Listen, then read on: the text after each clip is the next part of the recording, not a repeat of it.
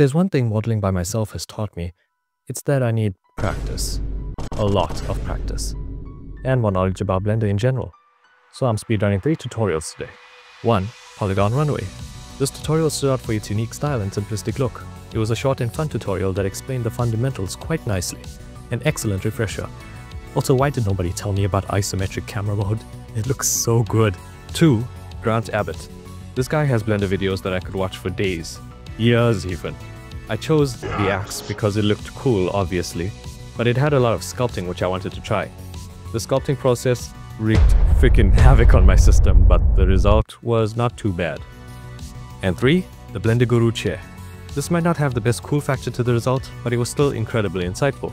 It was also my painful and hellish entry into the world of UV unwrapping. Ironic that the most simple looking one gave me the biggest headache. He gave us that back part as homework and I swear I've never been more mad at a slightly rotated and curved piece of virtual wood in my entire life. It took me so long to get that thing to align properly. But eventually, I got something decent. And I did not touch it afterwards. Thanks for watching. I'll be focusing on creating stuff without tutorials now. Hopefully.